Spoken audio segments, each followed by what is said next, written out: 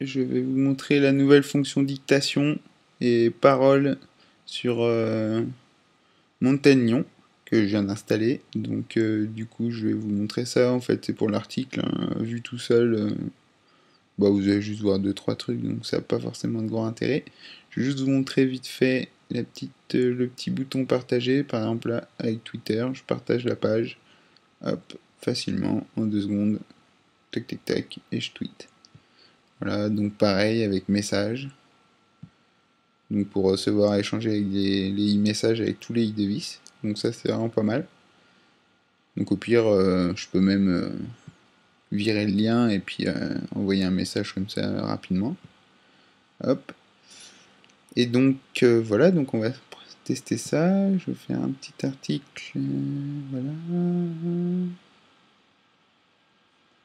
Hop. On va se faire lire ça. Donc je pense que c'est pas mal.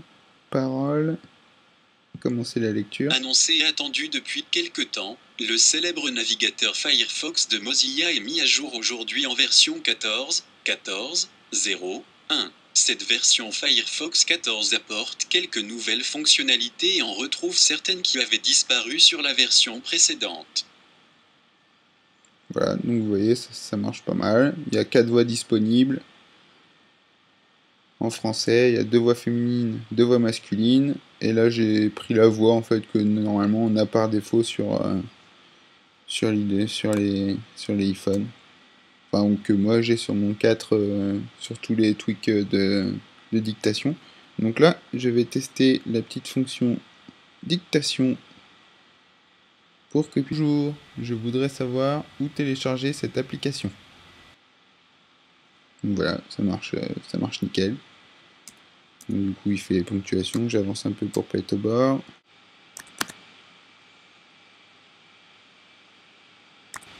Bonjour, je voudrais féliciter l'auteur de cet article parce que j'ai vraiment beaucoup apprécié le lire et me le faire lire par la nouvelle fonction parole de macOS 10.